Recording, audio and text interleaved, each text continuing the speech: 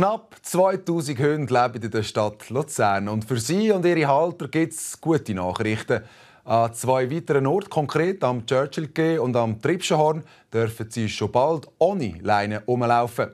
Die zusätzliche Freiheit für die Luzerner Hunde scheint aber nicht allen zu gefallen, unter anderem den Anwohnern, die jetzt Angst um ihre Kinder haben. Der kleine Louis und die weiße Kira müssen jetzt noch alleine durch die Wiese beim Churchill G laufen. Das soll sich dank ihren zwei Halter bald ändern. Sie gehören zur Interessengemeinschaft Hundewiese Luzern und haben sich für den Freilauf von ihren Vierbeinern eingesetzt. Sie sind froh über den Entscheid der Stadt.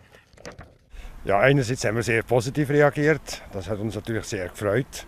Auf der anderen Seite, so Hundefreilaufzonen sind wichtig, insbesondere für das soziale Zusammensein von Hunden, vor allem junge Hunde, die sich sozialisieren mit den größeren und auch Hundehalter, die Kontakt können pflegen untereinander.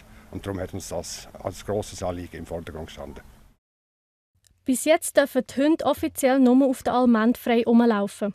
Ab Mitte Mai wird die Stadt eine Hälfte der Wiese im Churchill freigeben und im Herbst dürfen die Hunde auch beim Tripscherhorn von der Leine.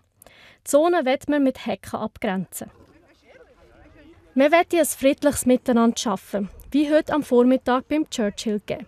Aber bei gewissen Anwohnern und Spaziergängern kommt das Projekt nicht gut an. Also ich finde es gut, wenn die Hunde ähm, Orte, Orte hätten, wo sie frei umeinander laufen können.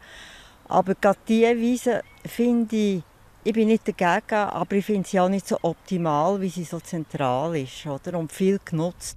Auch beim Tripscherhorn, wo es gerade in der Nähe eine Schule und einen Spielplatz hat, ist man kritisch. Ich finde, in einem Naherholungsgebiet und in einem Gebiet, wo eben Schul- und äh, Kinderspielplätze sind, ist das nicht angezeigt. Das, ich finde, das ist äh, eine Sauerei. Wir laufen jetzt gerade am See nach, da bei der Tripsche, und es hat einfach da auch sehr viele Kinder, kleine Kinder. Und ich denke, die haben einfach Angst vor Hunden. Ein grosser Teil von denen. Die Interessengemeinschaft Hundewiese wird dieser Kritik entgegenkommen. Wir verfolgen den Ansatz, dass wir unsere Mitglieder sensibilisieren möchten, auch insbesondere auf die Rücksichtnahme gegenüber Passanten und Menschen, die halt vielleicht mit Hunden nicht so gut umgehen können.